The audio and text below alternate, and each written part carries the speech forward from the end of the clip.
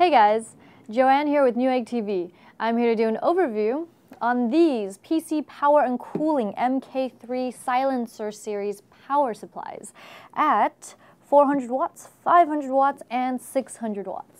A couple things to note is that all three of these power supplies are 80 plus bronze certified. That means at 20% load, you get 82% efficiency, and at 50% load, you get 85% efficiency, and at 100% load, you get 82% efficiency.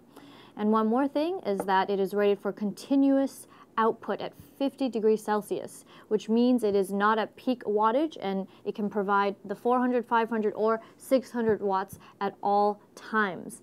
And they also come with a five-year warranty. Here's what's included in the box for the 400 watt power supply.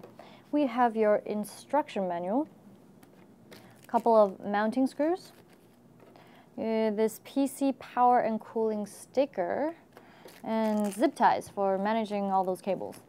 And this is your power cable. This power supply is partially modular and here are a look at its cables. This is your 20 plus 4 pin connector that plugs onto your motherboard. 4 plus 4 pin connector, your CPU connector. And this is your PCI Express 6 plus 8 pin cable we have three SATA cables with a total of two, four, six SATA uh, plugs. And this is your Molex cable with a total of three Molex plugs and a floppy plug. Now for the power supply itself, it has a white exterior with some black labeling. And it doesn't matter which orientation you have it because you'll always be able to see the PC power and cooling uh, label right side up. On this side, we have the, your various ports for your modular cables. And here we have a couple, we have holes for ventilation, your power switch and power port.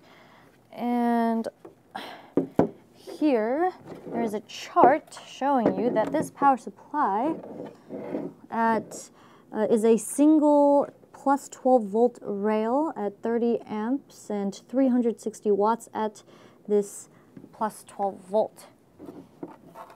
And finally, it has a 120 millimeter fan built for, I mean, installed for quiet operation. The 500 watt and 600 watt power supplies have the same cabling, so I'm just gonna go over the 500 watt power supply.